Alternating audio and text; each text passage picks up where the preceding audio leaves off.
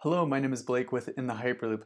Today we're going to talk about Delft Hyperloop and its test run in the SpaceX Hyperloop Pod competition. Everybody thought this would be really fast, but unfortunately it stopped a little bit too soon and um, you know, I think it was because of the heat and a lot of the batteries and stuff were overheating in that metal tube. But that brings me to a new uh, topic with Delft Hyperloop. They've released, I believe, the first online course ever from any team anywhere about Hyperloop. And it's free. It gets started November 13th. And I would highly recommend uh, you sign up for this. It seems like it's a you know fairly lengthy course, about six weeks in length, about two to four hours per week. But you get to understand about Hyperloop, technical concepts, key hurdles, and developing your own ideas for Hyperloop. And I really just want to commend um, Delft, TU Delft, and the Hyperloop team in working really hard in getting this course published. Looking forward to signing up for it. Another team, Hardt Hyperloop, also from the Netherlands, uh, announced that they have a new multi-million dollar investment th through InnoEnergy, and it's really interesting. Um, I would highly recommend you read this press release.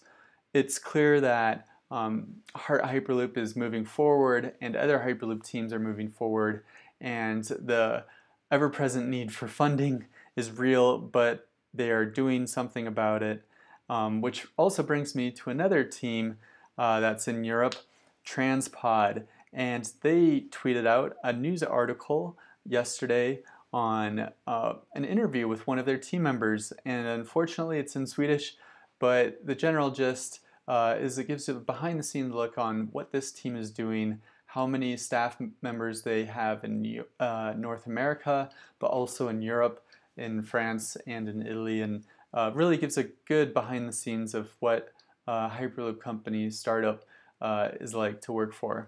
The next um, group I would like to show is kind of a um, collaboration between this uh, port authority in Dubai and Hyperloop One and they are working together to develop the CargoSpeed cargo pod for the Hyperloop and they won an award for project management and it's just really interesting um, to see kind of where this is taking different spin-off companies. Um, next, I just want to highlight that um, in the Hyperloop has a Twitter list, and uh, we are tracking different Hyperloop companies in it. Um, Zeleros uh, tweeted a little bit ago that they have um, announced support from the local government to build a two kilometer test track um, so that's really exciting. I'd recommend you follow this list so you can stay in the loop um, with other Hyperloop companies.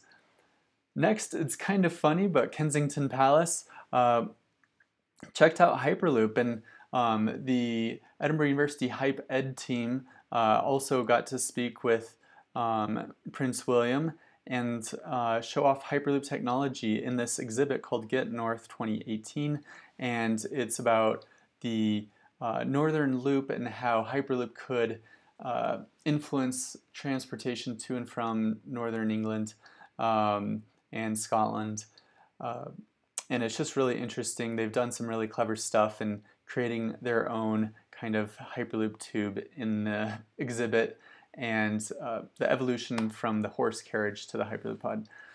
Um, next is we are also tracking the SpaceX Hyperloop pod competition teams, they are working very hard on recruiting new members for the um, summer 2019 SpaceX pod competition. And I'd highly recommend you check that out. Also, rLoop um, was uh, uh, had a documentary film team um, from the History Channel, and that aired yesterday. So check that out. Um, Paradigm Hyperloop is also recruiting. EFP is doing, um, EPF, which is the Swiss team, is doing a lot of press. They're going out into the community and talking a lot about Hyperloop. Um, and that brings me to a conference that uh, they have recorded that talks about their project. um, why they're doing it in Switzerland, why they think it could affect Switzerland, and uh, it's just a really fascinating um, speak uh, conference and speakers. Um, I'd highly recommend you check it out on hyperloop.epfl.ch slash media. And finally, another Subway-esque kind of company, the Boring Company, are doing more events for their flamethrower, but also um, are getting student teams to check out their boring technology in LA.